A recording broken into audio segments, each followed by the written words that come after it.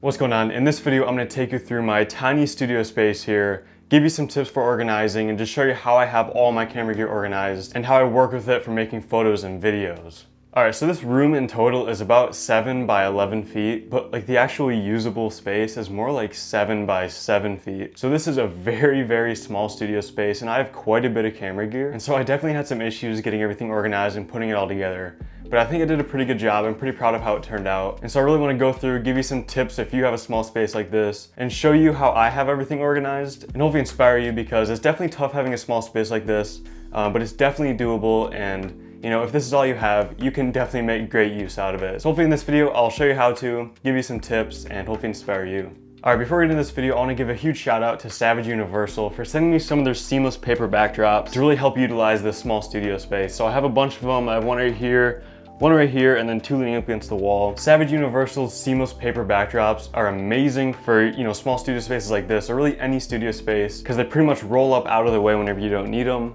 Like I said, I have two rolls right here that are just rolled up leaning against the wall. And then I can switch them out for the ones up here anytime I want. I don't have to have a whole entire wall like painted a certain color, you know, that I can't put anything in front of. I can just roll them up out of the way. And then whenever I need to use them, just roll them down, you know, get the shots, get the photos and videos I need, roll them back up, get them right out of the way. So these are great for any sort of studio spaces. But huge shout out to Savage Universal. Thank you for sending me these. Definitely go check them out down in the description. So anyways, I'm gonna talk more about the backdrops once we get there, but I'm actually gonna start from the front of the room and work my way back. So without further ado, let's get right into it. All right, so like I said, this studio space is super small. Uh, it's about seven by seven feet of actual like usable area. And then the rest over here is pretty much an entranceway, like a coat room area. Uh, so this is the entranceway room of our house that we moved into recently. So this go this door leads to the outside, this door leads into the house. So there's like coats there, there's a shoe racks. So this space right here pretty much needs to like, you know, be part of the house. Like not really studio space, more just, you know, like I said, like a shoe rack, coat room type of area. So only about, you know, here over is what I can actually use for studio space, which is about seven by seven feet which is tiny, like super small. So next to the shoe rack, we have this shelf unit right here. Uh, so this kind of has a majority of like batteries and charging equipment and stuff like that. So on the bottom is kind of like just a junk shelf. You know, there's like a bunch of chargers, camera bags, stuff like that. That's kind of like the junk drawer shelf type of thing. This right here has some sandbags, diffusion fabric, some gloves, um, box, you know, just kind of like junk shelf part two, but kind of more organized. But then once we get up right here, this is the charging station. So I use this shelf specifically for like chargers that I'm using to charge batteries. I kind of have them all plugged into this power strip here. It's definitely nice to have a specific like battery charging location and having everything kind of organized right there with all the chargers for every battery. It's super useful. It makes everything a lot faster than having to find the charger, you know, find out where to plug it in and plug the batteries in, all that stuff. This is just so much easier having a specific dedicated like station unit for it. So we go right up here, these are my batteries. So the two main cameras I use are Sony cameras. So I have these NPF W50 batteries right here, a bunch of those and some other ones in there. And then of course use my Z-Cam, so I have all these NPF 970 batteries and stuff, all the NPF batteries in here for the Z-Cam and for like my lights like those. Um, that's what those are used for. And then of course my FS7 battery.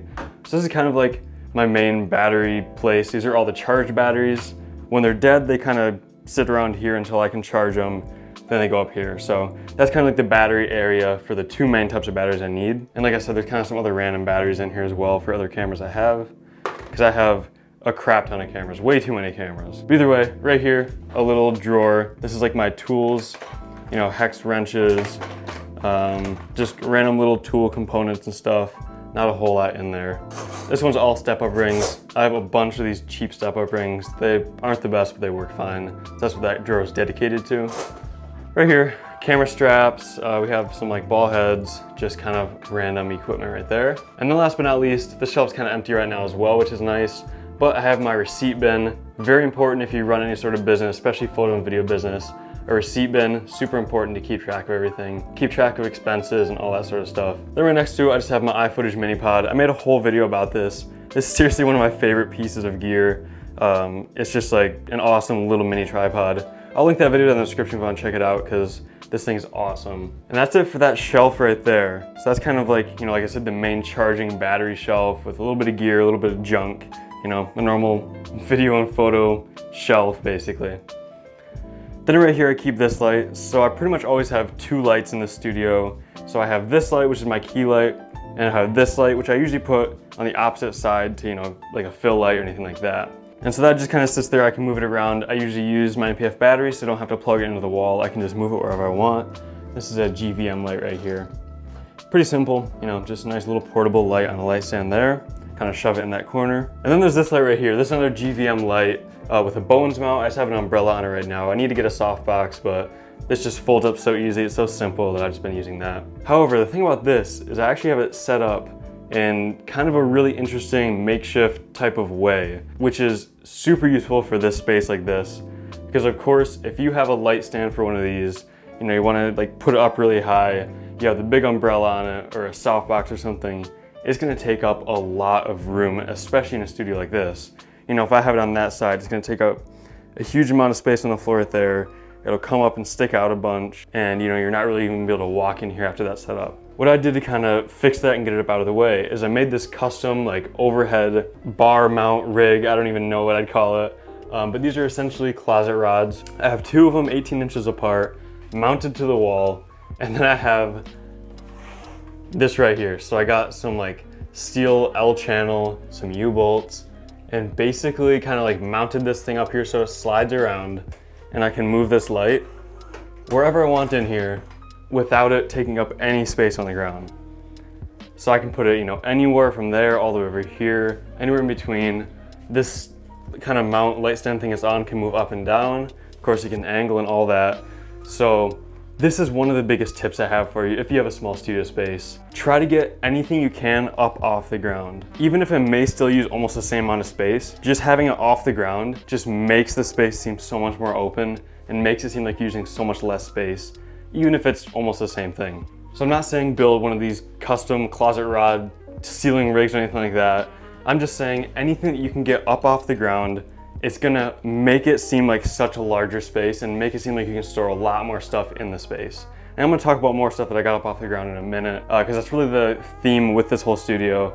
I tried to get everything I could up off the ground. So we head over here, we got tripod right there, and then GVM light case, it's the case for that light right there. I think there might be another one in there actually. That's also hanging on a hook right there to get up off the ground as well. So it's kind of just, you know, tripod storage while there's another hook right there that I have another tripod on or whatever I want to put on it basically. And so that's it for this entire wall right here. Also, I can store stuff up on top of here. So I have this reflector up there right now, but I can pretty much store anything like kind of up on top of here, which is super nice. And so that's that. That's it for this entire wall. You know, as much as I could, I got up off the floor. Of course, the shelf has to be on the floor and the light stand, you know, that's gotta be on the floor as well. Next up, if we kind of go on this side, we have, of course, the door to the house coats and stuff. Those are actually nice for reducing the echo in here. They help soak it up, especially in that corner. However, it's still pretty echoey in here. There's nothing on the ceiling. There's nothing really over here. You know, it's really reflective in here. So I want to try to get that fixed eventually. Uh, but that'll be kind of, you know, more down the road. If we get over here, this wall isn't quite utilized yet. However, right here, I have this retractable extension cord. So I can use this for anything I want to plug into and I can get it, you know, put the cord along here, down there, something like that, rather than having just an extension cord laying on the ground. This is super useful. It's also on one of these tracks that I built, so I can move this around wherever I want, which is super nice. Right now I just have that light plugged into it, but I can pretty much plug anything into this. So if you move over here, I pretty much have these Savage Universal backdrops leaning against this corner right here. It's kind of this little corner right here, which is, you know, kind of weird, but that's there to kind of lean those against. Also extension cord kind of going down there to plug in that because that's a really short cable on this. And that's it for that wall. There's nothing over there either.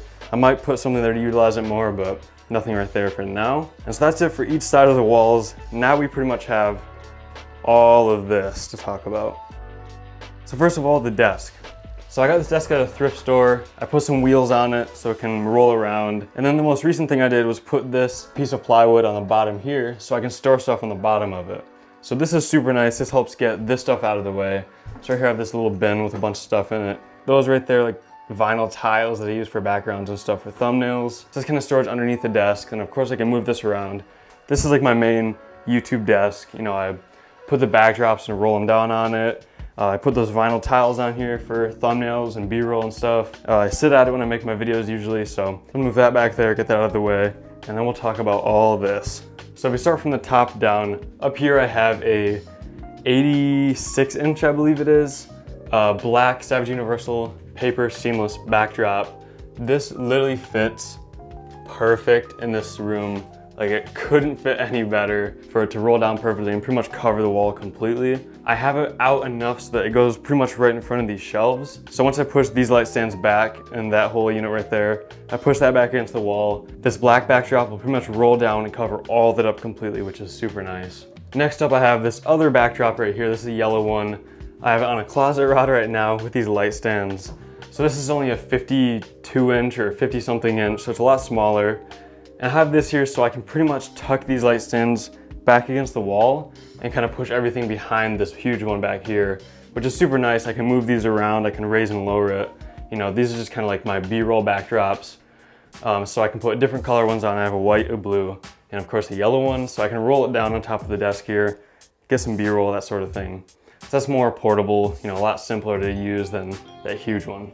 So every studio space, of course, needs some sort of backdrop, some sort of background like this. So definitely check out the link down in the description. Check out Savage Universal's seamless paper backdrops and all the other products. They make super high quality backdrops that I've been using for quite a while now. And they sent me these different colors just to pretty much help complete the studio and they're amazing. So definitely go check out those down in the description if you're looking for some sort of paper backdrop for B-roll, for photos, portraits, anything like that.